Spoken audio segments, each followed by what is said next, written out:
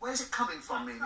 It's coming from uh, the media of what is supposed to be beautiful, and um, they feel also a, a lot of black male, as I said. Um, I, have a friend whose husband is a footballer, and I, I've been to some of their events, and you know all the footballers who go there are with white women, and it, you even see in politics as well. You know any, oh, you know, television, uh, men, black men who have achieved um, their careers with white women, and it's generalisation, but I, I, I'm going with it. Yeah.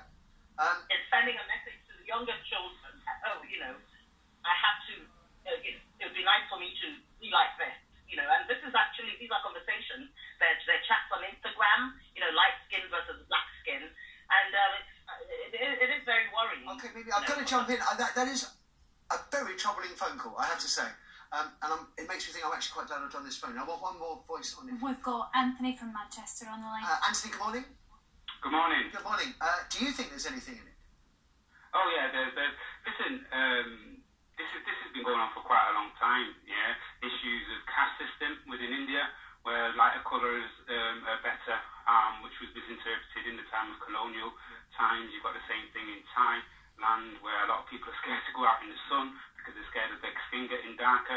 But what you've also what you've also got is a white supremacy kind of approach to this when even when you're looking at flour, yeah, flour when it's better for you is brown, but it's been made white. Bread when it's better for you is brown, but it's been made white.